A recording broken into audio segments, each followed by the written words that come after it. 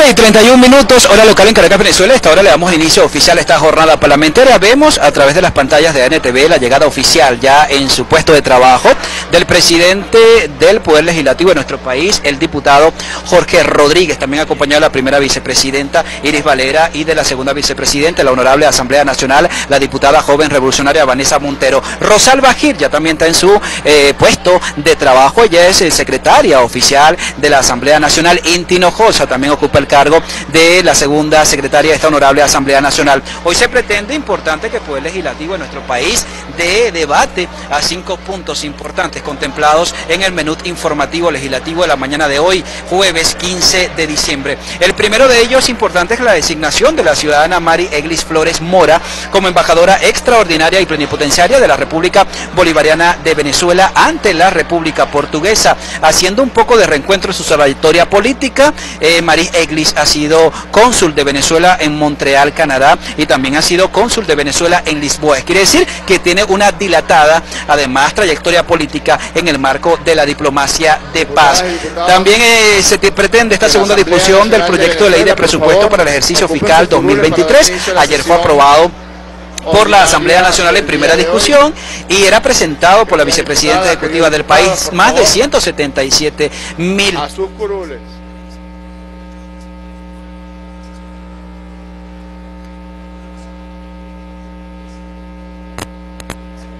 del proyecto de ley especial de endeudamiento anual para el ejercicio económico fiscal 2023. Ayer Desi Rodríguez, vicepresidenta del país, en este eh, balance bastante completo, Jan Corrales, eh, Margaret Cornivel, decía que en el año 2022, y es importante analizarlo como periodista, decía Margaret, importante, que más de 927 medidas coercitivas contra Venezuela se habían registrado y al menos 700 de ellas correspondían por parte de los Estados Unidos. También ah, abordaba el tema de las 169 sanciones hacia empresas públicas y privadas y decía una frase importante que creo que quedó bueno, marcada, grabada en el colectivo del Poder Legislativo. Y la cito textualmente, el bloqueo no ha acabado, el bloqueo existe. Lo que ha salvado a Venezuela es esa capacidad ingeniosa, creativa y de echar para adelante por parte del pueblo venezolano. Podemos observar también a través de las pantallas de NTV que ya hay un aforo que supera el 90% de las de los diputados en sus respectivos clubes. A esta hora inicia la jornada parlamentaria. Escuchemos.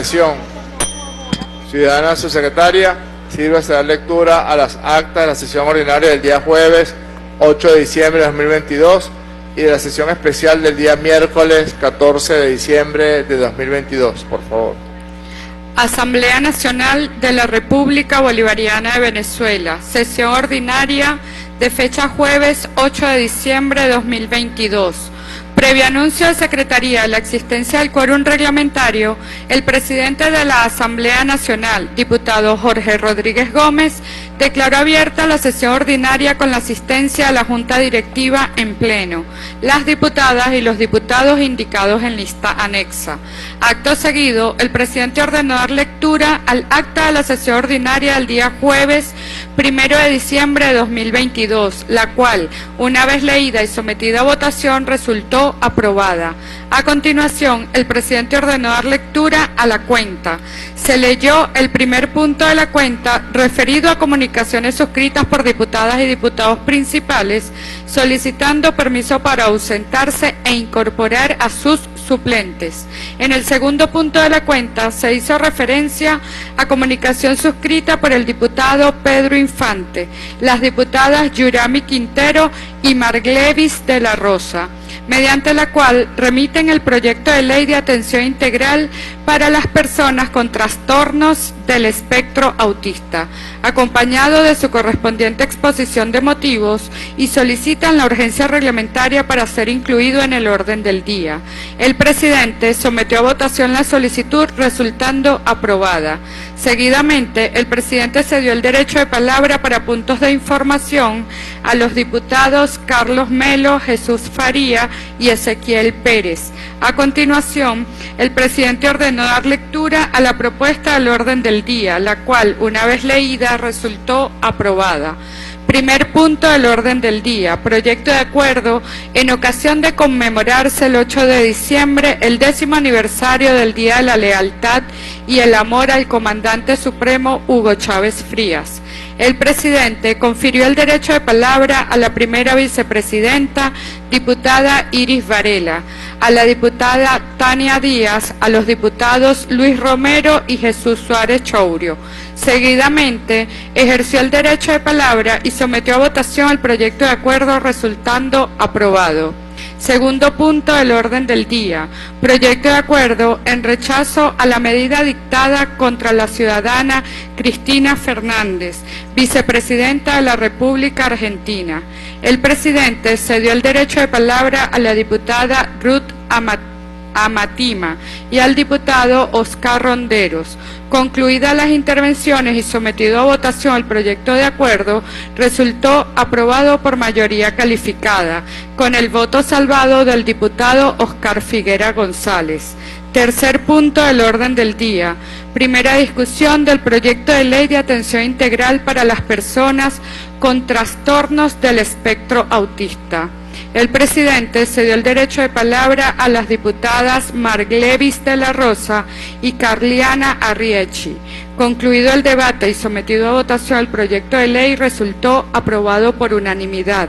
En consecuencia, ordenó remitirlo a la Comisión Permanente de Desarrollo Social Integral a los fines de la elaboración del informe para su segunda discusión. El presidente señaló que agotado los puntos del orden del día, se levanta la sesión ordinaria.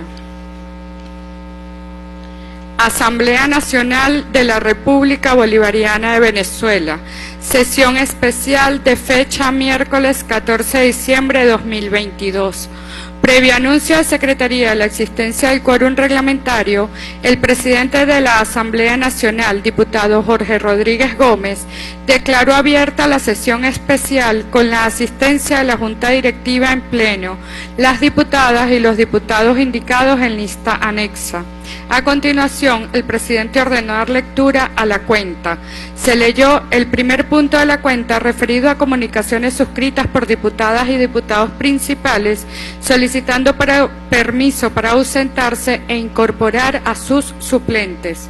En el segundo punto de la cuenta se hizo referencia a comunicación suscrita por el ciudadano Carlos Rafael Faría Tortosa, ministro del Poder Popular para Relaciones Exteriores, mediante la cual el ciudadano Nicolás Maduro Moros, presidente constitucional de la República Bolivariana de Venezuela, propone la designación de la ciudadana Mari Eglis Flores Mora como embajadora extraordinaria y plenipotenciaria de la República Bolivariana de Venezuela ante la República Portuguesa. El presidente ordenó remitir la comunicación a la Comisión Permanente de Política Exterior, Soberanía e Integración a los fines de la elaboración del informe correspondiente. El tercer punto de la cuenta fue referente a comunicación suscrita por el diputado Jesús Faría Tortosa presidente de la Comisión Permanente de Economía, Finanzas y Desarrollo Nacional, mediante la cual remite el informe del proyecto de presupuesto de la Asamblea Nacional correspondiente al ejercicio económico financiero 2023, acompañado de su correspondiente exposición de motivos, y solicita la urgencia reglamentaria para ser incluido en el orden del día.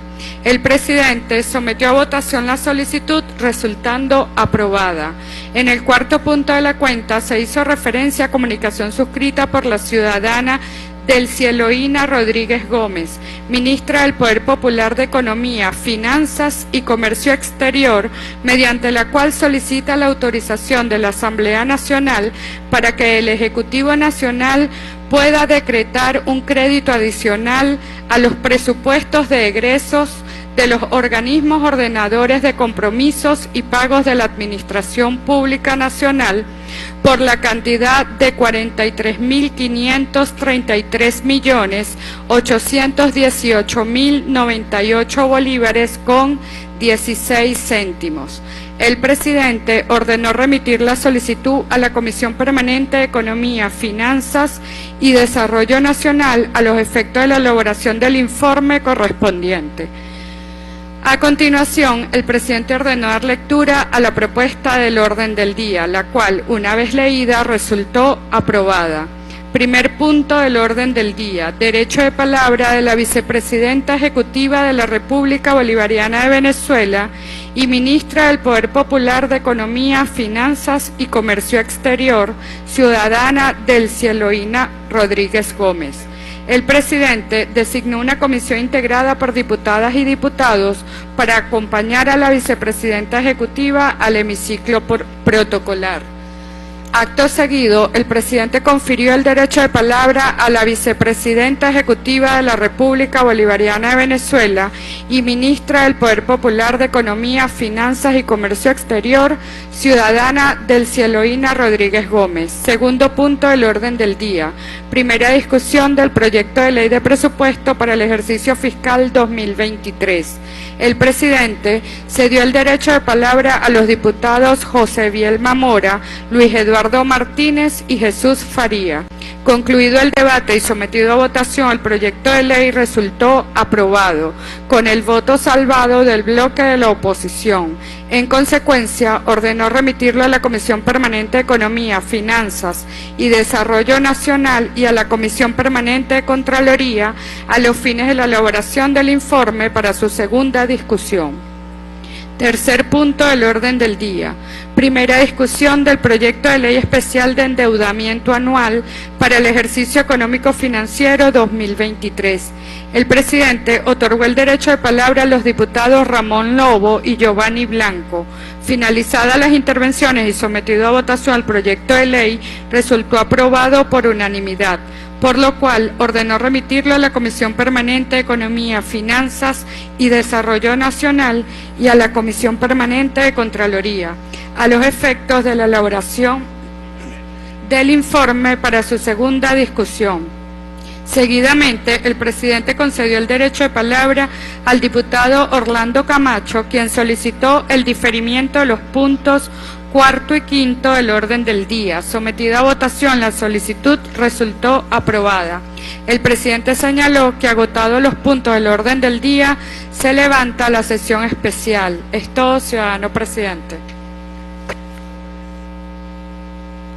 Gracias, querida subsecretaria. Vamos a proceder a votar las actas en orden inverso como fueron presentados. En primer lugar, vamos a proceder a someter a consideración el acta leída correspondiente a la sesión especial del día miércoles 14 de diciembre de 2022.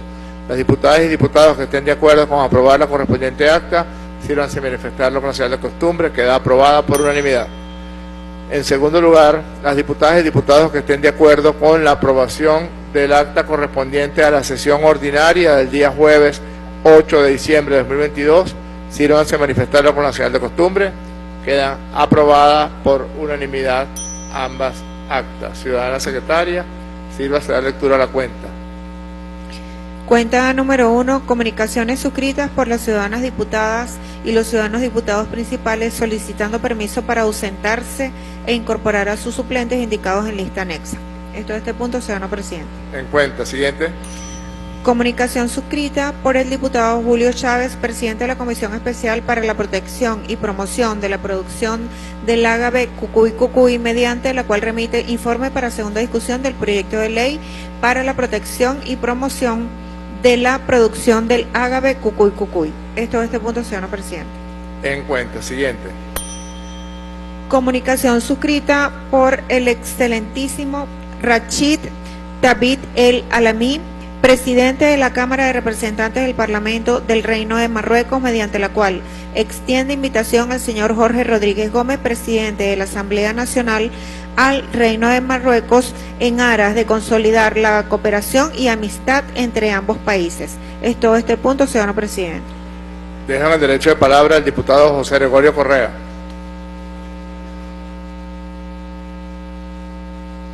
En días pasados eh, comenzamos a trabajar el tema de lo que es el reconocimiento de lo que es la realidad. El Parlamento de Marruecos y el gobierno del Reino de Marruecos durante un tiempo había manejado una situación errónea sobre la situación política en Venezuela.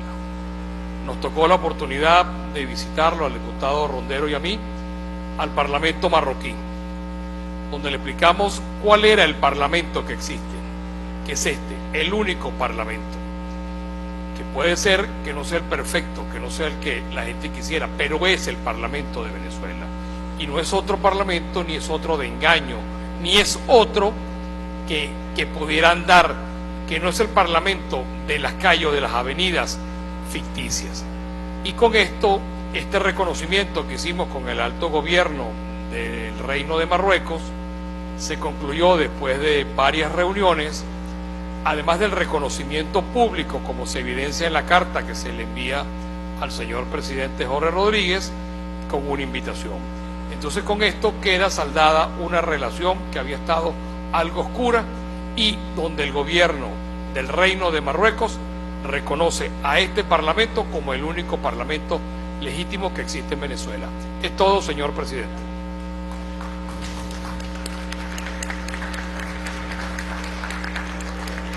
Muchísimas gracias, diputado.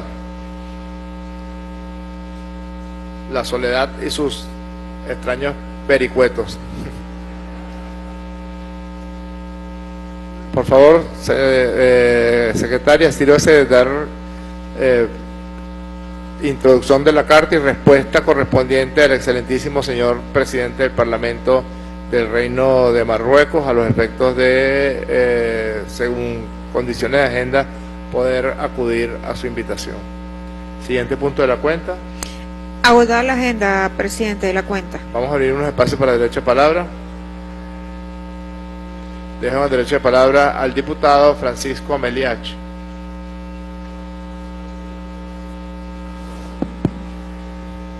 Señor presidente, colegas diputados, bueno, en el día de hoy se cumplen 23 años de que el pueblo salió y aprobó su constitución, la primera en la historia de Venezuela en ser aprobada en elecciones universales, directas y secretas. Ahora, esa constitución, la constitución de la República Bolivariana de Venezuela, recoge todo un sistema conceptual que rompe definitivamente con el sistema político de conciliación de élites tutelados y al servicio de los intereses de los Estados Unidos, que aquí eh, se, sucedió sobre todo a principios del siglo XX con la decisión de las grandes potencias de cambiar como fuente de energía principal de carbón a petróleo y Venezuela tener unas grandes reservas de petróleo. Y ese, ese siglo fue eh, distinguido por la traición y en esa traición existen dos, dos personas o dos elementos fundamentales. La traición de Gómez cuando le entrega nuestro petróleo a los intereses de los Estados Unidos y la de una generación conocida como la generación del, del 28, que en 1931, en el Plan Barranquilla, el 22 de marzo, para Maceña, escribe o critica esa política entreguista de Gómez y uno de los firmantes o dos de los firmantes de ese pacto era Rómulo Betancourt con 20 años y Raúl Leoni con 23 años. Jóvenes que después, cuando tenían 50 años, en 1958, hicieron lo mismo, entregaron el petróleo a cambio de que sean protegidos en el gobierno. Y eso es lo que se conoce como el pacto de punto fijo, que no es otra cosa que un sistema de conciliación de élites tutelado y al servicio de los intereses de los Estados Unidos. Pasado mañana se cumplen 40 años del juramento en el Samán de Huere, que se hizo en 1982 donde a mi entender o a mi interpretación nace las bases ideológicas de un tiempo coyuntural que rompe con ese tiempo estructural de la traición y de la entrega de, eh, nuestras riquezas al imperio estadounidense. Y esa ahí que empezó a discutirse en 1982, que yo tuve el privilegio de pertenecer a esos círculos de estudio dentro de la Academia Militar de Venezuela, se hablaban las líneas gruesas del proyecto nacional Simón Bolívar, que tenía como elemento fundamental la unión cívico-militar. Ya se hablaba ahí de la unión cívico-militar. Y las expresiones después de, de, de ese momento coyuntural, en 1982, vino la expresión popular de la rebelión de 1989 y la rebelión militar de 1992 y el surgimiento de un líder que supo encaminar el poder potencial constituyente de ese pueblo y lo llevó pues a inscribir en nuestra constitución todo el desarrollo o las bases fundamentales de lo que es el poder obediencial. Aquí hemos visto colegas que se paran y preguntan sobre el poder obediencial. El poder obediencial es leerse y desarrollar todo lo que está escrito en la Constitución de la República Bolivariana de Venezuela. Y está marcado por un elemento fundamental, y ya termino, y está marcado por un elemento fundamental que es que los que poseen las armas de la República, la Fuerza Armada Nacional Bolivariana, está consciente de que la soberanía reside intransferiblemente en el pueblo. Y esa Fuerza Armada actúa al servicio del pueblo. Y termino diciendo que con el lanzamiento estratégico por nuestro presidente Nicolás Maduro de las tres R.D, todas las claves para resistir están en esa constitución de la República Bolivariana de Venezuela. Cuando se hable de renacer, lo que nosotros tenemos que renacer son los fundamentos principales que están en la Constitución de la República Bolivariana de Venezuela. Y tenemos que revolucionar y cambiar todo lo que se tenga que cambiar para materializar lo que está en la Constitución de la República Bolivariana de Venezuela. Es todo, señor presidente. Gracias, diputado. Dejo el derecho de palabra al diputado Gustavo Rangel. Micrófono para el diputado, por favor. Buenos días, colegas parlamentarios, pueblo de Venezuela. Efectivamente, esta constitución que hoy rige en Venezuela es una constitución que nos dicta los derechos y deberes que tenemos todos como ciudadanos. Y es esa misma constitución que no tengo la menor duda que es una de las mejores constituciones que se ha implementado en Venezuela. Tenemos que reconocerla de esa manera.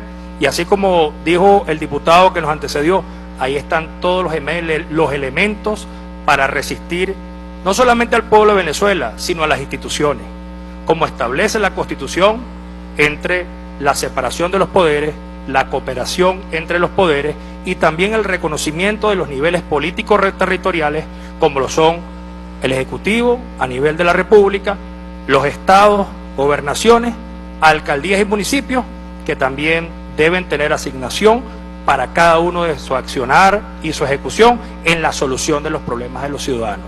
Nosotros hoy, esa misma constitución que ustedes levantan es la misma constitución que nosotros levantamos y que estamos obligados todos, más allá de una parcialidad política, una tendencia, a cumplirla, no solamente como funcionarios o como miembros del Poder Ejecutivo, sino a cada uno de los ciudadanos que están en la calle viviendo el día a día y la situación que hoy estamos viviendo con relación al bloqueo, a la situación crítica que estamos viviendo el día de hoy y nosotros hoy también hacemos reconocimiento a esa constitución porque también es nuestra constitución y hoy levantamos la voz de esperanza y defensa de esa misma constitución que nos regula a todos. Muchas gracias y buenos días, ciudadano presidente.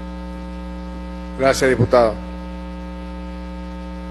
Voy a dejar el derecho de palabra a la primera vicepresidenta de la Asamblea Nacional, perdón, sí, a la primera vicepresidenta de la Asamblea Nacional, diputada Iris Varela. Gracias, presidente. Sí, bueno, efectivamente hace 23 años nace la República Bolivariana de Venezuela, con nuevos poderes, con nuevas instituciones. Así que felicitaciones a todo el pueblo venezolano que en ese referéndum hizo posible el nacimiento de esta república. Hace 23 años, también, por supuesto, se instala o se funda este nuevo poder legislativo con la forma de una Asamblea Nacional unicameral, que pienso muy por el contrario de alguien que se expresó anteriormente aquí, no es la asamblea que, soñamos o la perfecta, no, no, será la perfecta, pero sí es la que espera el pueblo venezolano porque nos eligieron por mayoría. Y esta asamblea su trabajo es posible no solamente gracias a la representación política que ejercemos nosotros aquí como diputados y diputadas, sino porque hay un elemento fundamental que son sus trabajadores y sus trabajadoras. Hoy también se celebra el Día del Trabajador Legislativo.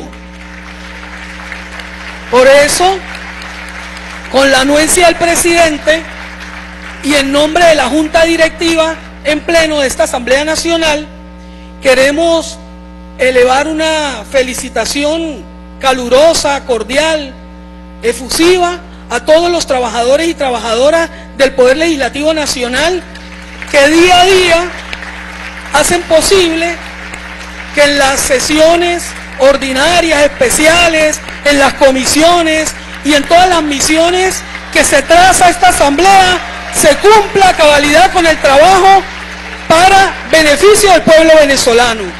Así que nuestras felicitaciones a todos nuestros trabajadores y trabajadoras del Poder Legislativo en su día. Muchas gracias.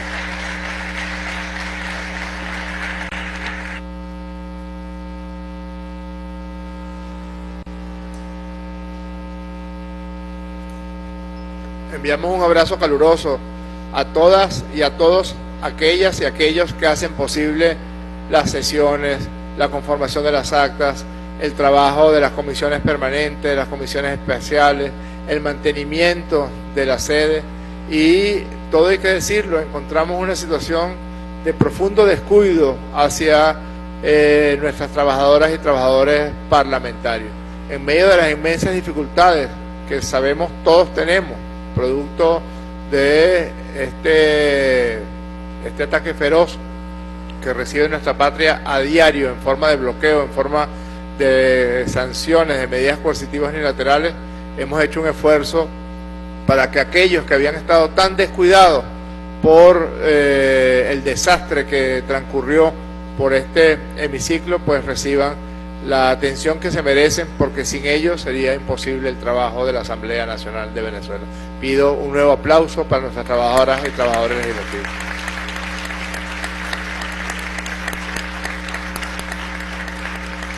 Voy a dejar en el derecho de, de voy a dejar en el derecho de palabra al diputado Luis Parra. Señor presidente, Junta Directiva y por supuesto colegas diputados. Hoy nosotros desde la fracción de la Alianza Democrática queremos hacer extensivo también y queremos acompañar esa felicitación al Día del Trabajador y a estos trabajadores legislativos que obviamente sin ellos creo que abiertamente podemos decir que no hay institución. Aquí con compromiso, con profesionalismo, con dedicación, con esfuerzo y con esmero, hemos visto a muchos trabajadores y a muchas trabajadoras que desde el que limpia hasta que el que tiene la más alta responsabilidad, obviamente está comprometido con la función legislativa. Y es nuestra obligación reconocer ese trabajo, pero también elevar la voz para que más nunca en este trabajo legislativo puedan ser los trabajadores los que sean afectados producto del conflicto político o la polarización política. A mí me tocó presidir precisamente en un momento de mucha turbulencia este poder legislativo. Y eran precisamente los trabajadores legislativos los que eran las primeras víctimas del conflicto.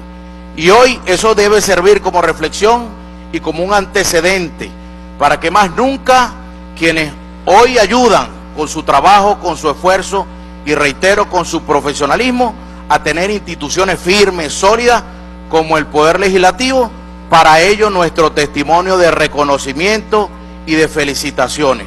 Por eso hoy nos unimos a esas felicitaciones y que más que sean esas reivindicaciones a ese sector, a estos trabajadores que día a día se sigan sumando para elevar la calidad de vida, por supuesto, y el bienestar social y laboral que todos y cada uno de ellos merece. Así que en nombre de toda esta Cámara, feliz Día del Trabajador Legislativo. Muchísimas gracias, señor presidente. Gracias, diputado. Nadie más anotado el derecho de palabra. Se va a cerrar. Se cierra. Ciudadana secretaria, por favor, sirva a dar lectura a la propuesta de orden del día de hoy. Punto número uno, considerar el informe presentado por la Comisión Permanente de Política Exterior, Soberanía e Integración, mediante el cual se autoriza al ciudadano Nicolás Maduro Moros, presidente constitucional de la República Bolivariana de Venezuela, para designar a la ciudadana Mari Eglis Flores Mora, como embajadora extraordinaria y plenipotenciaria de la República Bolivariana de Venezuela ante la República Portuguesa, de conformidad con lo previsto en los artículos 187, numeral 14 y 236, numeral 15 de la Constitución de la República Bolivariana de Venezuela. Punto número 2. Segunda discusión del proyecto de ley de presupuesto para el ejercicio fiscal 2023. Punto número 3.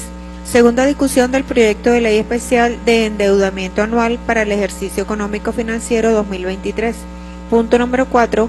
Considerar el informe presentado por la Comisión Permanente de Economía, Finanzas y Desarrollo Nacional, mediante el cual remite el proyecto de presupuesto de ingresos y gastos operativos del Banco Central de Venezuela, correspondiente al ejercicio fiscal 2023. Punto número 5 considerar el informe presentado por la Comisión Permanente de Economía, Finanzas y Desarrollo Nacional, mediante el cual autoriza al Ejecutivo Nacional para decretar un crédito adicional al presupuesto de egresos para los organismos ordenadores de compromisos y pago, pagos de la Administración Pública Nacional por la cantidad de 43.533 millones 818 mil 98 bolívares con 16 céntimos. Es todo de la propuesta, señor presidente. En consideración, las honorables diputadas y honorables diputados que estén de acuerdo con el proyecto de orden del día presentado, sírvanse manifestaron con la señal de costumbre, queda aprobado. Primer punto del orden del día, ciudadana secretaria.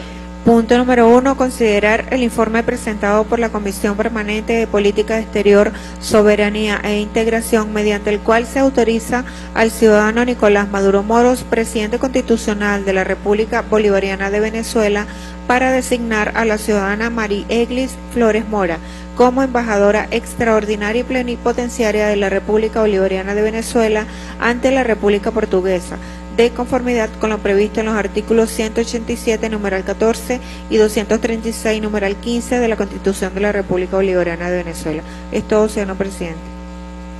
Dejo en el derecho de palabra al diputado Roy Daza. Micrófono para el diputado, por favor. Ah, gracias, presidente. Eh, a nombre de la Comisión de Política Exterior, eh, me corresponde hacer... Eh, esta intervención que tiene que ver con la designación de Mari Flores Mora, una diplomática con una larguísima experiencia, con una, un conocimiento muy profundo, por cierto, muy, muy ligado a la vida de Portugal, de la República Portuguesa, donde ha ejercido precisamente su actividad diplomática o una de las partes de su actividad como diplomática. Creo que en este caso eh, nuestro Ejecutivo, el Presidente de la República, ha tomado una decisión que no solo eh, se responde a la, posibilidad de un buen trabajo de parte de eh, la compañera Mariflores Mora, sino también a la necesidad de reforzar y de relanzar la relación entre nuestro país y la República Portuguesa. Eh, es muy conocido mm, en estos apenas hace unas semanas eh, la conversación entre eh, el gobierno del Portugal y el, nuestro presidente de la República, Nicolás Maduro, que por supuesto abrieron un nuevo compás en unas relaciones que para nosotros son muy importantes. Para nosotros son eh, de, una gran significación porque es muy claro la cantidad de portugueses o ciudadanos de origen portugués que viven en nuestro país. Nosotros siempre hemos convivido entre portugueses, muchos de nosotros de alguna manera tienen alguna familia de esa nacionalidad y creo que tiene una gran importancia, además de los venezolanos o de origen venezolano que viven en Portugal. Creo que nos atan relaciones además muy significativas desde el punto de vista diplomático. Es decir, ya son 109 años de relaciones diplomáticas formales entre las dos repúblicas y además acuerdos muy, eh, muy amplios, eh, muy abarcativos de distintos sectores de la, de la cultura, de la economía, de la sociedad, de la política, que fueron firmados por el presidente Maduro en el 2013 y en el 2018. Además de, eh, habría que decir que para esta plenaria y para Venezuela no tiene nada de extraño tener una gran amistad con los portugueses y las portuguesas y con ese gran país de Luis de Camoes, de Saramago y de Álvaro Cuñado, hombres de la literatura que llenan no solo el espacio de su país, sino también el espacio nuestro porque de alguna manera han sido acogidos los portugueses y las portuguesas como parte de nuestra nación, como parte de nuestra cultura muy venezolana. Muchísimas gracias, presidente. Muchas gracias, diputado. No hay nadie más anotado en el derecho de palabra en este punto. Lo someto entonces a consideración.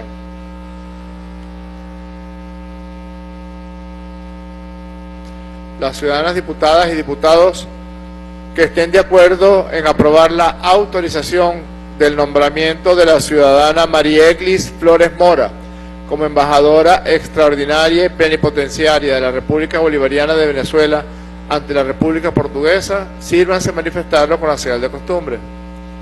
Queda aprobado. Siguiente punto del orden del día, ciudadana secretaria. Punto número 2. Segunda discusión del proyecto de ley de presupuesto para el ejercicio fiscal 2023. Esto, señor presidente. Bien, voy a dejar en el derecho de palabra al diputado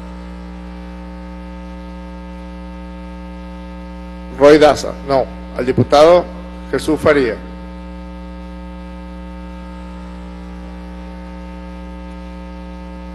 Muchas gracias, querido presidente.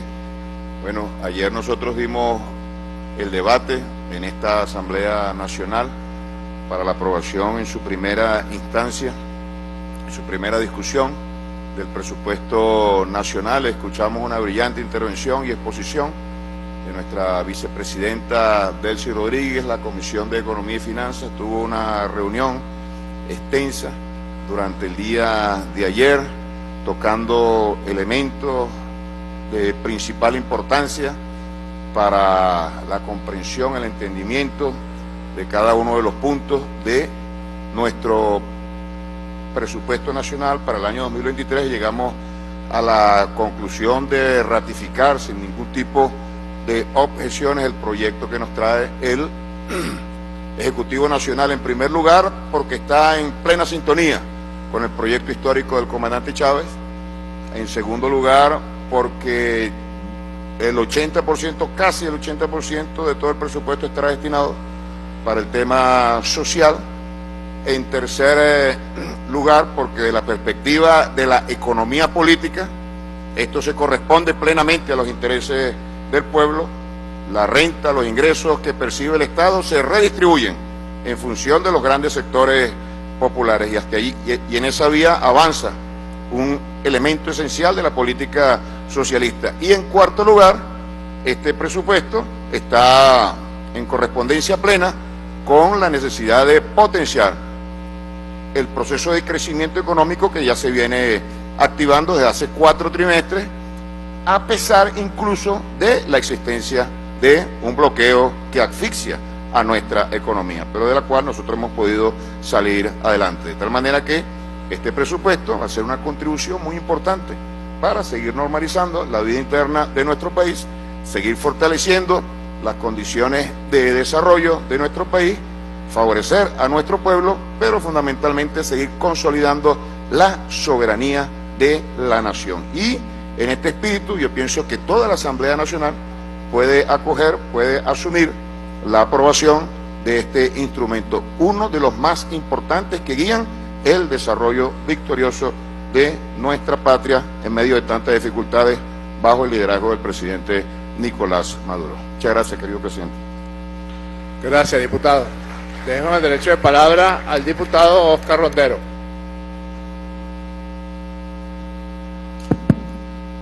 Señor presidente, desde la bancada de la Alianza Democrática en esta Asamblea Nacional, debemos manifestar que hicimos una serie de observaciones del debate de ayer en la Comisión de eh, Economía y Desarrollo y de Finanzas, Economía y Desarrollo y fueron acogidas algunas de nuestras observaciones.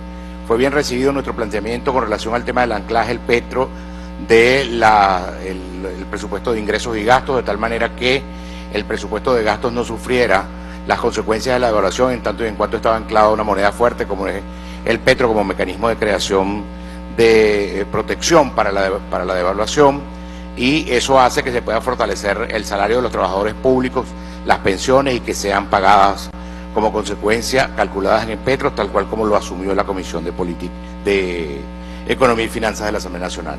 Bienvenida la, la receptividad de la, mayoría en este planteamiento. Hicimos este planteamiento en el plan de protección del salario de los trabajadores y en el plan de protección de las jubilaciones y pensiones de nuestros eh, eh, adultos mayores. Por otro lado, tenemos una observación que no fue acogida, pero queremos dejar constancia puntualmente, relativa al tema de los ingresos ordinarios extraordinarios. Se crea un nuevo ítem que se llama ingresos corrientes extraordinarios. Pareciera una mistura y allí se incluyen todos los ingresos petroleros que están por el orden de los 108 eh, millones, de los 108 millones de dólares. En consecuencia, esos ingresos corrientes extraordinarios parecieran decir que eh, son unos ingresos que no están ni en los eh, ingresos ordinarios ni son ingresos corrientes, pero se califican de extraordinarios por primera vez y son los ingresos producto de la regalía petrolera y producto de los derechos de explotación petrolera. La explotación petrolera y el petróleo por eh, constitución nuestra y por en la historia venezolana son eh, propiedad de todos los venezolanos. Y quien vaya a explorar, a explotar petróleo en el subsuelo venezolano tiene la obligación de pagar la regalía petrolera, que no es más que el derecho a la explotación. Ese derecho a la explotación ha sido eh, históricamente, durante los últimos 100 años, un ingreso ordinario en el, en, el, en el presupuesto nacional, pues nadie puede pretender que vaya a hacerse explotación petrolera sin el pago de la correspondiente regalía como derecho de la explotación. Por eso, este, además, al no ser incluidos estos como ingresos ordinarios, se sacan del cálculo del situado constitucional y el situado constitucional alcanza apenas a 8 millones de eh, dólares cuando debería ser eh, por el orden de los 29 millones de dólares si estos ingresos fueran considerados como ordinarios, como considera la bancada opositora. Nosotros este, queremos dejar constancia de esta situación, creemos que se le están quitando a las regiones por el orden de los 22 o 23 millones que no están entrando en el cálculo del situado constitucional y creemos que eso afecta al desarrollo de las regiones, creemos que eso hace que no se democratice el gasto público en las distintas regiones del país. Somos nosotros apenas oposición en cuatro, gobierno en cuatro regiones, pero creemos que el reclamo que nosotros hacemos para las cuatro regiones en las que nos corresponde gobernar es válido también para donde le corresponde gobernar al oficialismo. Es todo, señor presidente. Gracias, diputado. Derecho de palabra al diputado Jesús Faría. Micrófono para el diputado, por favor. Gracias, querido presidente.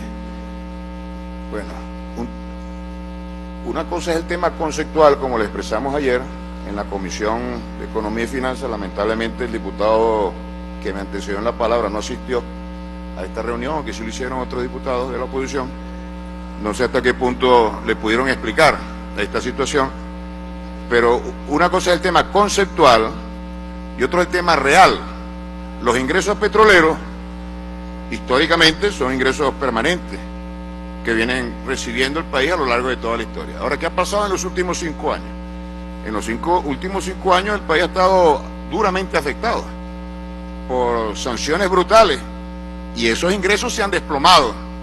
Nosotros recibimos aquí una información del presidente de la República en el año 2021, según la cual en el año 2020 nosotros estábamos recibiendo menos de mil millones de, dólares, menos de mil millones de dólares, después de que los ingresos ascendían al menos en promedio a 40 mil millones de dólares.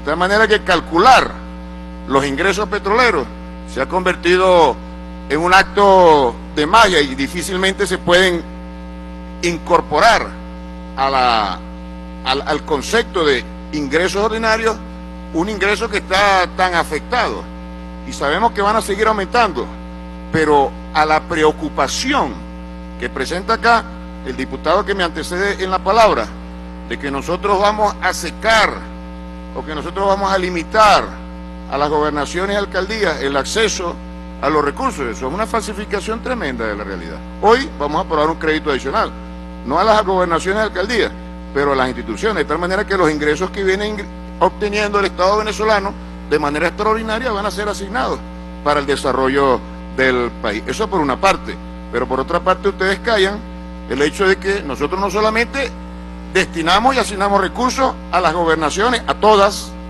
y a las alcaldías, absolutamente a todas, sino también a miles y miles de comunas y organizaciones populares. Es decir, que se cae toda la mentira que subyace al planteamiento de que nosotros estamos estrangulando financieramente a la nación.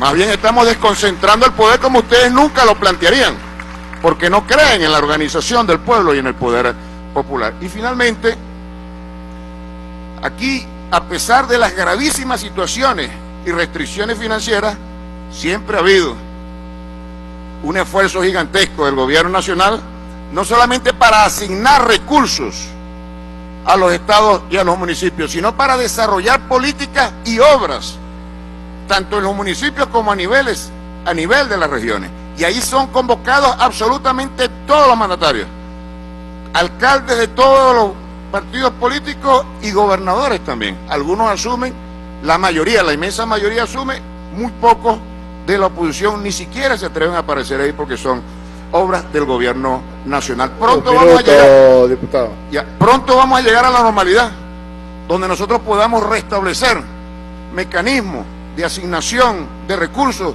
mucho más eh, voluminosos para el desarrollo de toda la nación. Pero la responsabilidad aquí de este cambio recae exclusivamente en estas agresiones económicas de las cuales somos víctimas en los actuales momentos. A eso obedece esta situación que es extraordinaria en correspondencia con condiciones absolutamente extraordinarias sobre las cuales tiene que cabalgar nuestro país. Muchas gracias, camarada presidente. Gracias, diputado.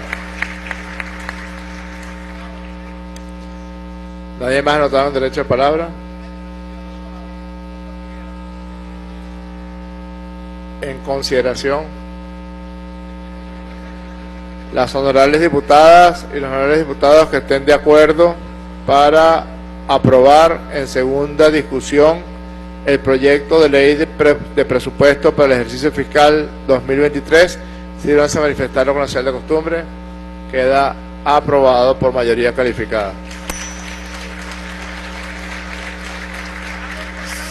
Siguiente punto del or- orden, diputados, orden, orden, diputados, orden, orden, orden, diputados, orden, ah, bueno, queda constancia, orden, diputados, orden, diputados,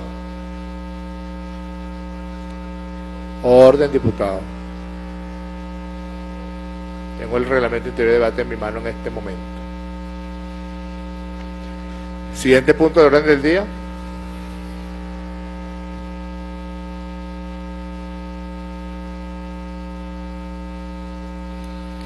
Queda en consecuencia sancionada la ley de presupuesto para el ejercicio fiscal 2023 y se remite al Ejecutivo Nacional a los fines de su promulgación de acuerdo a lo establecido en el artículo 213 de la Constitución de la República Bolivariana de Venezuela.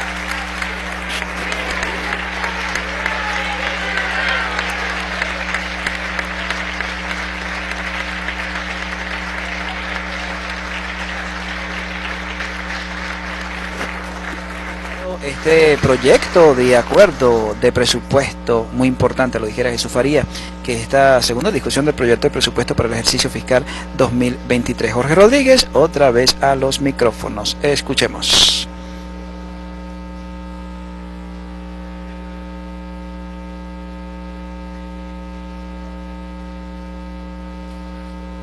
Siguiente punto del orden del día, ciudadana secretaria.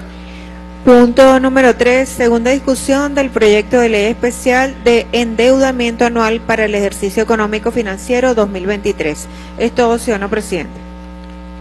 Dejo en el derecho de palabra al diputado Ramón Lobo.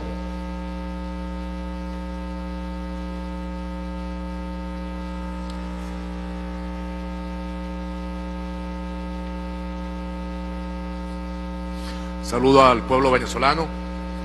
Tal como ya hizo referencia el presidente de la Comisión de Economía, Finanzas y Desarrollo Nacional, nuevamente en la tarde de ayer se reunió la comisión para darle continuidad a una discusión que tenemos por más de un mes en torno a la propuesta del presupuesto nacional.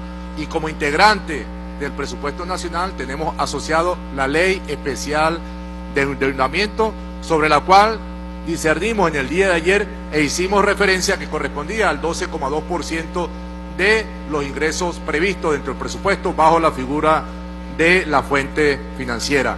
Y de esta ley especial de endeudamiento, en el día de ayer hicimos algunas aclaratorias adicionales sobre diputados y diputadas que plantearon algún tipo de inquietud en esa reunión, destacando que ya teníamos un lapso de tiempo reunido. En ese sentido, presidente, nosotros consideramos necesario complementar los ingresos de origen interno que ha propuesto el gobierno nacional, el presupuesto nacional, con estos recursos que se pueden ubicar por vía de financiamiento tanto en el mercado nacional como en el mercado extranjero, ya que los mismos están direccionados a atender sectores prioritarios para la población venezolana y lo destacaba en el día de ayer como el servicio de la energía eléctrica, darle continuidad a la recuperación en los servicios públicos, que fue parte de la propuesta que se hizo en el año 2000 21 para el año 2022 y se mantiene esa orientación y algo muy importante tiene que ver con seguir generando condiciones que propicie el desarrollo de la actividad productiva, que le dé fortaleza al todo el dinamismo que nosotros queremos implementar a través de la agenda económica bolivariana y particularmente de los 18 motores productivos. Por eso, en la comisión ratificamos nuevamente y traemos a consideración esta ley con la finalidad ya expuesta y que de esa manera nosotros enrumbemos, como así va a ser el 2023, en el año definitivo del despegue económico y restituir la calidad de vida del pueblo venezolano que ha sido afectado por las medidas coercitivas unilaterales, pero que gracias al liderazgo del presidente Nicolás Maduro estamos enrumbando nuevamente el país por el sendero de la felicidad. Es todo, presidente. Gracias, diputado. ¿Nadie más anotaron derecho a palabra? Adelante, diputado. Diputado Giovanni Blanco, miembro de la Comisión de Economía y Finanzas. Queremos desde el bloque de oposición, la Alianza Democrática, ratificar nuestra posición que expresamos el día de ayer de acompañar la ley de endeudamiento público en pro eh, del fortalecimiento y el apoyo a nuestra nación en los tiempos que se están viviendo. Así que en este caso vamos a aprobar en segunda discusión esta ley. Es todo. Muchas gracias. Gracias, diputado.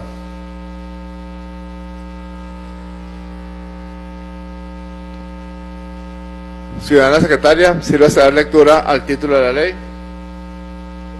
Título, Ley Especial de Endeudamiento Anual para el Ejercicio Económico Financiero 2023. Esto, señor presidente.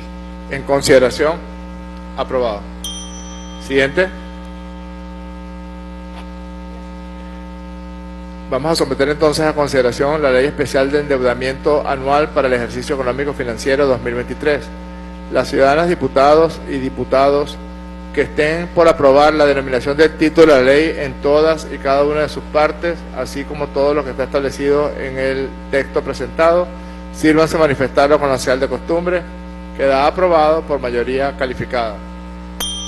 Se declara en consecuencia sancionada la Ley Especial de Endeudamiento Anual para el Ejercicio Económico Financiero 2023 y se remite al Ejecutivo Nacional a los fines de su promulgación de acuerdo a lo que está establecido en el artículo 213 de la Constitución de la República Bolivariana de Venezuela. Felicitaciones diputadas y diputados. Cuarto punto del orden del día, ciudadana secretaria. Punto número cuatro, considerar el informe presentado por la Comisión Permanente de Economía, Finanzas. Diputados y diputadas, a los efectos de preservar la integridad de su garganta, pueden pasar los votos salvados por escrito. Continúe, secretaria. Considerar el informe presentado por la Comisión Permanente de Economía, Finanzas y Desarrollo Nacional, mediante el cual remite el proyecto de presupuestos de ingresos y gastos operativos del Banco Central de Venezuela correspondiente al eh, ejercicio fiscal 2023. Esto, señor presidente. Tiene el derecho de palabra el diputado Michel Duque. Micrófono para el diputado, por favor.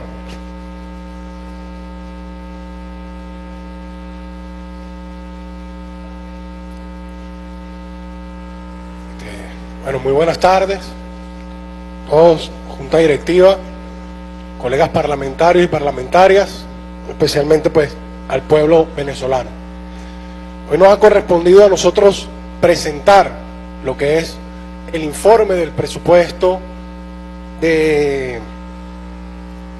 ingresos y gastos operativos del Banco Central de Venezuela.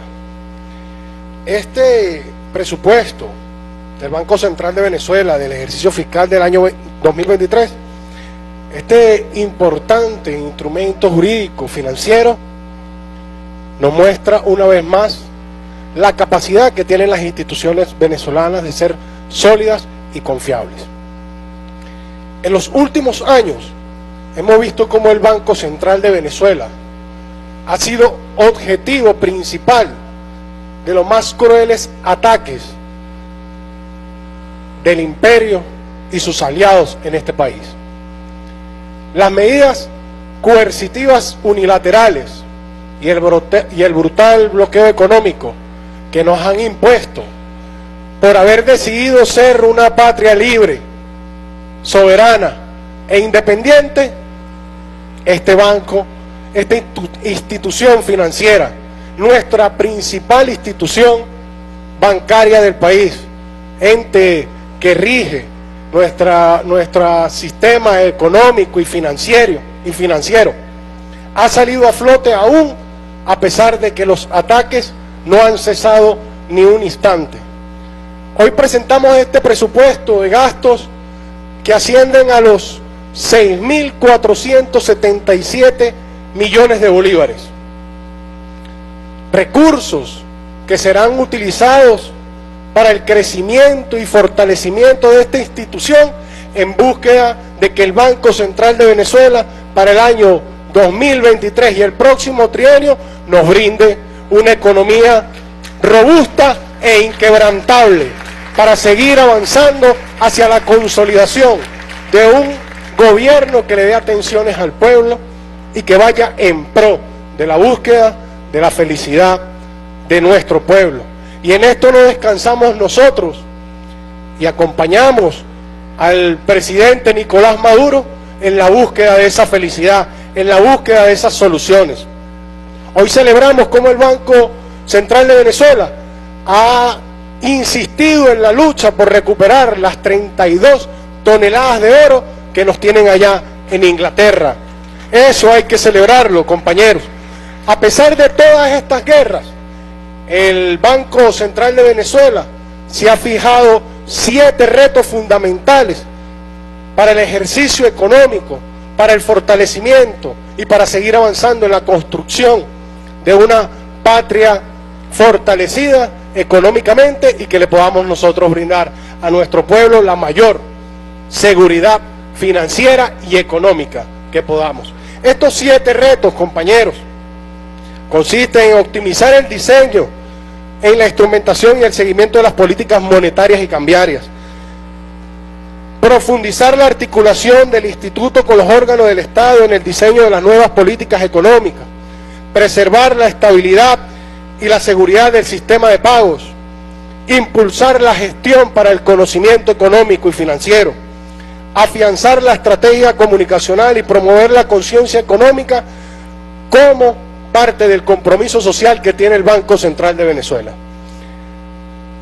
Y asegurar la adaptación del modelo de gestión del Banco Central de Venezuela y su funcionamiento organizacional en los desafíos que exige la actualidad. Vemos nosotros, compañeros, como los enemigos históricos de esta patria, hoy, desde el, paralelismo allá en Miami, vuelven a atacar nuestra, nuestra moneda.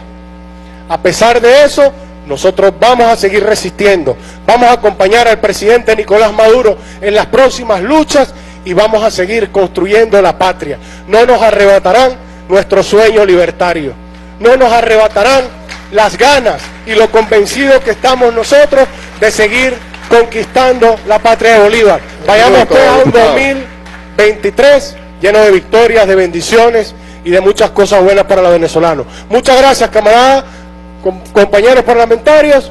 Chávez vive. Puede dejar en derecho de palabra al diputado José Gregorio Correa.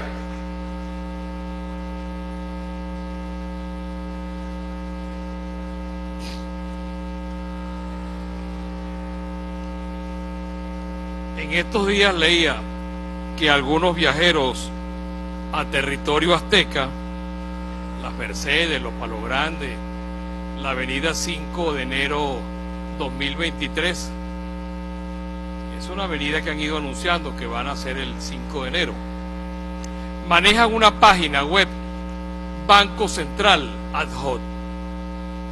Ayer la señora vicepresidenta hablaba de las páginas y se habla de esas páginas que tanto daño le han hecho a la economía. Pero una pregunta, ¿esos viajeros aztecas de tequilas y mariachi son los mismos que manejan esa página web y dicen que tienen unos recursos allí que se manejan? Es solo una curiosidad. Nosotros vamos a acompañar el presupuesto, pero no sin antes exhortar a que esos mismos tequilas y cantantes de mariachi envíen una carta de seis líneas al Tribunal de Londres señalándole que el cese del embuste terminó, que eso se acabó y que la controversia y que la controversia de que se habían dos presidentes con una carta de seis líneas ese tema se acaba y el oro que está retenido regresaría al Banco Central de Venezuela este y no el ad hoc. Hemos discutido también sobre la ley de endeudamiento. Ese endeudamiento sería menor si ese Citgo se recuperara entre el mariachi y el tequila noruego. Así sería mucho más fácil que lo que el endeudamiento manejaría. Pero no puede ser que nosotros hagamos un esfuerzo aquí de un bloqueo de otros países, pero propios venezolanos sean los que se ocupen de un bloqueo y tengan un dinero que no les pertenece y que le pertenece al Estado venezolano. Entonces, señor presidente, mi exhorto eh, en nombre de la fracción de la Alianza es acompañar esto, pero con el exhorto de que se respete hoy que se cumple un aniversario más de la Constitución, que la Constitución de la República Bolivariana de Venezuela en su artículo 320 señala que en el ejercicio de sus funciones el Banco Central de Venezuela es autónomo y no está sujeto a directivas o directrices del Poder Ejecutivo y no podrá convalidar déficit fiscal alguno. Y ese déficit que tenemos grave es con ese Banco Central paralelo, que es un dinero que le pertenece a los venezolanos en Venezuela y no a los venezolanos que dicen caminar por las Mercedes con la mayor impunidad que se, que se haya conocido en Venezuela. Con esto, señor presidente, nosotros vamos a acompañar este proyecto de ley de presupuesto pero ojalá que esta asamblea se pronuncie para que ese dinero que maneja una página web llamada Banco Central Azot regrese a las arcas del Banco Central que están ubicadas en la esquina de Carmelita. Es todo, señor presidente. Gracias, diputado. Nadie más anotado el derecho de palabra. Se va a cerrar. Se cierra. Las ciudadanas diputadas y los ciudadanos diputados que estén de acuerdo con aprobar el informe presentado del presupuesto de ingresos y gastos operativos del Banco Central de Venezuela correspondiente al ejercicio fiscal 2023, sírvanse a manifestarlo con la señal de costumbre, queda aprobado. Siguiente punto del orden del día, ciudadana secretaria. Punto número 5. Considerar el informe presentado por la Comisión Permanente de Economía, Finanzas y Desarrollo Nacional, mediante el cual autoriza al Ejecutivo Nacional para decretar un crédito adicional al presupuesto de egresos de los organismos ordenadores de compromisos y pagos de la Administración Pública Nacional por la cantidad de 43.533 millones 818 mil 98 bolívares con 16 céntimos. Es todo este punto, señor presidente. Gracias, secretaria. Dejamos el derecho de palabra al diputado Fernando Bastidas.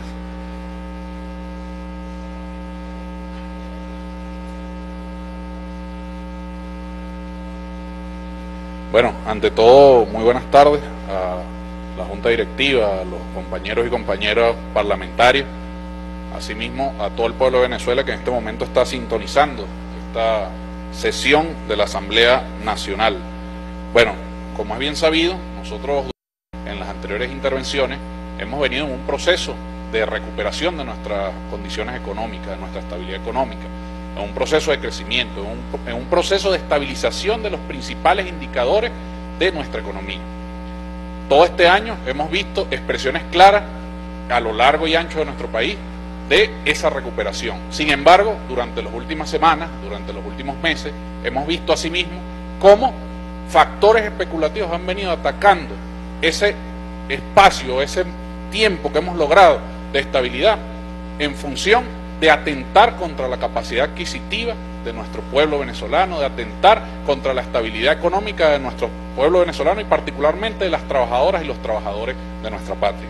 En ese sentido, y como corresponde a un gobierno revolucionario, un gobierno responsable, como corresponde a una revolución que toma como principal bandera la defensa de la mayoría del pueblo, de los trabajadores y de las trabajadoras, se plantea este crédito adicional, tal como lo establece nuestra Constitución de la República Bolivariana de Venezuela ante este Parlamento, en el artículo 187, numeral 7, para autorizar a los distintos organismos ordenadores de compromisos y pagos de la Administración Pública Nacional en cuanto a lo que tiene que ver con su, con su presupuesto de egresos por un monto de 43.533 millones 818.098 bolívares con 16 céntimos.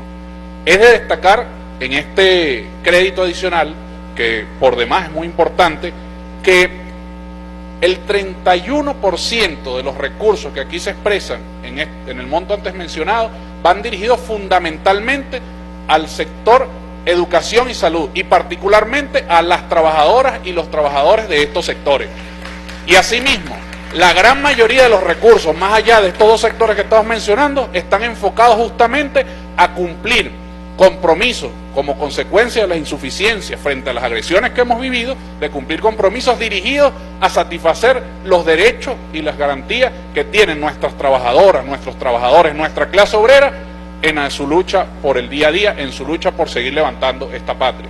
En este sentido, queremos acompañar y solicitar ante esta honorable plenaria la aprobación de este crédito adicional por el monto de 43.533 millones 818.098 bolívares con 16 céntimos en beneficio de nuestra clase trabajadora para seguir avanzando en la recuperación económica de nuestra patria y para seguir derrotando a aquellos quienes han pretendido y siguen pretendiendo boicotear la recuperación económica del país. Muchas gracias. Gracias, diputado. Voy a dejar el derecho de palabra al diputado Giovanni Blanco.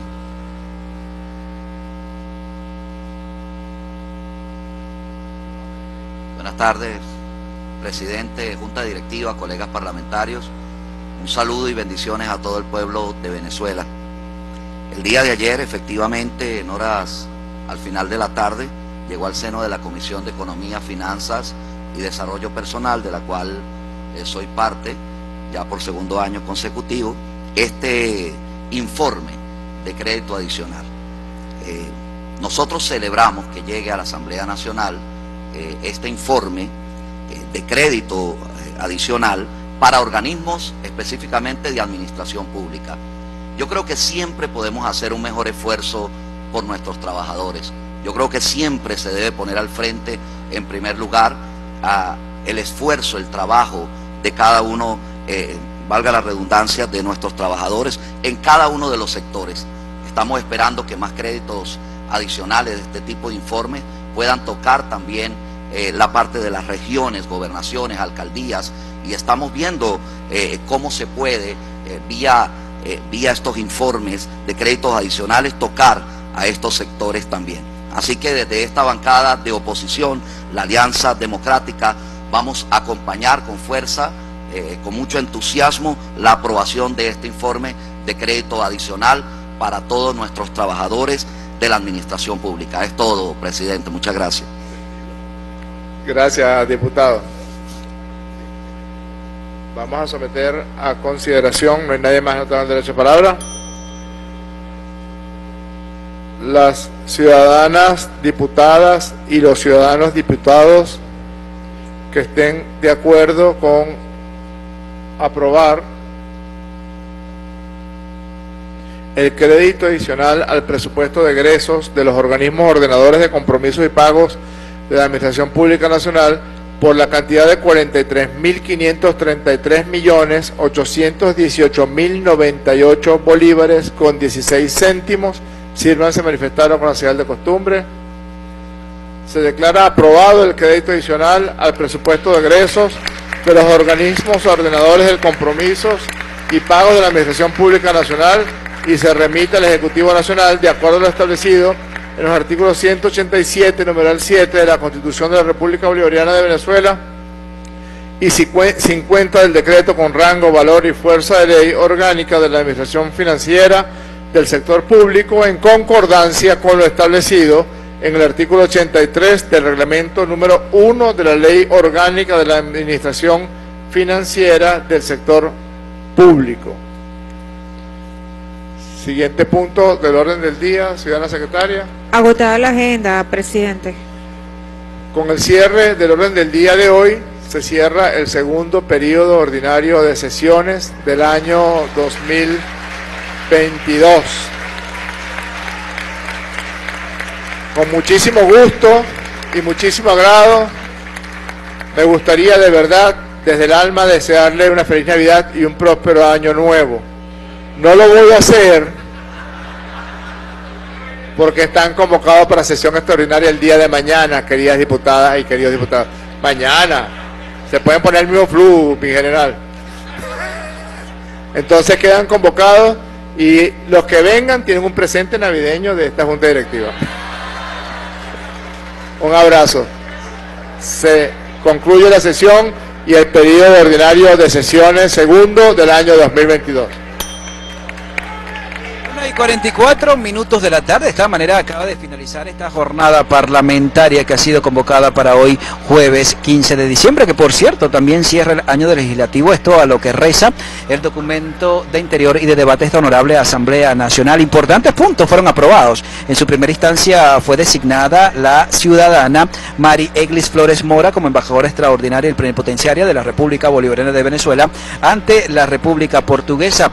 También se aprobaba, se sancionaba este proyecto de acuerdo del presupuesto del ejercicio fiscal para el año 2023 por más de 170.703 millones de bolívares que ayer era presentado por la vicepresidenta ejecutiva del país. También se aprobaba, se sancionaba este proyecto de acuerdo de endeudamiento anual para el ejercicio económico financiero 2023. También se aprobaban recursos para ingresos y gastos operativos del Banco Central de Venezuela correspondiente al año 2023 por más de 6.477 millones de bolívares. Y era aprobado además un crédito adicional para los egresos de los organismos ordenadores de compromisos de pago y administración de la banca pública, nada más y nada menos que por 43.530 y 3.818.098 bolívares con 16 céntimos. Esto es lo que ha sido noticia. Sin embargo, a pesar de que era, bueno, cerrado el año legislativo 2022, eh, se convocaba a una nueva sesión extraordinaria para mañana viernes oficialmente 16 de diciembre. Esta es la información que se ha generado desde el hemiciclo de sesiones 1 y 45. Despedimos esta jornada parlamentaria.